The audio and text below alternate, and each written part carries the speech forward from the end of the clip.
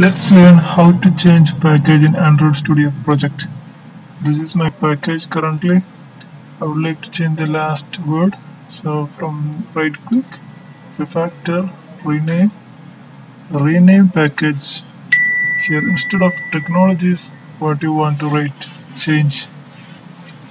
On the last word, I want to change to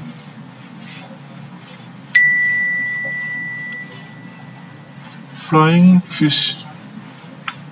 Because this is my application. Then click refactor. Make sure your spelling correct. Then on the left bottom corner there you can see wherever it is used. You can see in every project every java class file it is used. So we need to change everywhere so what you do? Do refactor. You have to click the do refactor button. Before you want to read these things you can read. Then click do refactor. It will change all the prices. See now the instead of technologies you can see flying fish. Flying fish everywhere it is changed. See on the class file also it is changed.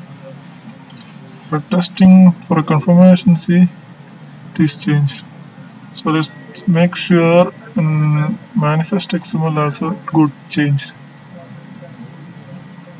see that one also changed.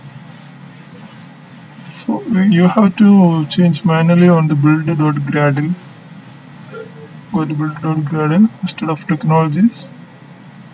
You can add for avoid spelling mistake copy and paste. Then click sync now button. All other places it will change automatically. Only the build.gradle file you have to change manually. Let's get the project got synchronized.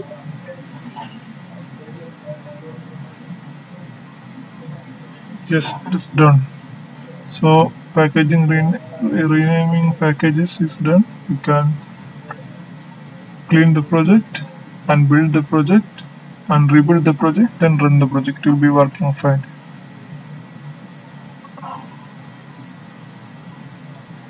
Just clean. Okay. I hope you know the rest of the things. I hope this video will be informative. Thank you. Please subscribe